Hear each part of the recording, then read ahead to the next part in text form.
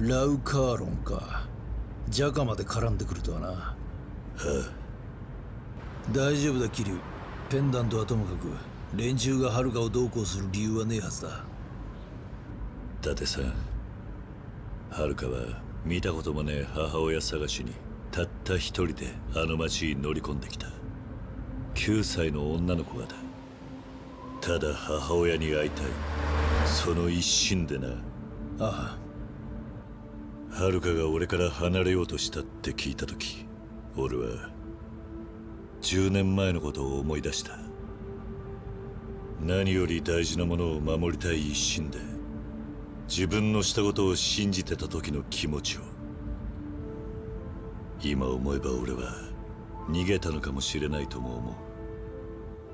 その人間が背負うべき運命を見てられなくてそれを見届ける勇気がなくて。俺は奴の人生を無理やり曲げちまったんだと。だが心のどこかではこうも思うんだ運命に逆らった自分は正しかったはずだ。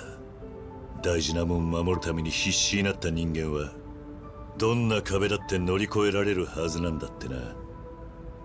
水木が死んではるかはあの小さい体で必死に歯食いしばってる。あいつが運命と戦うなら俺はあいつのために命張ってやろうと思うんだ。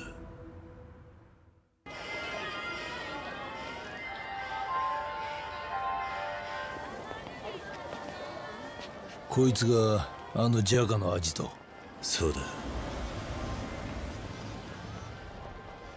伊達さんは例のハルカの捜査を探ってみてくれないか。お前一人で行くつもりか？悪いが今の伊達さんじゃ足手まといになる。はっきり言いやがる。分かったすまない。死ぬなよ桐生。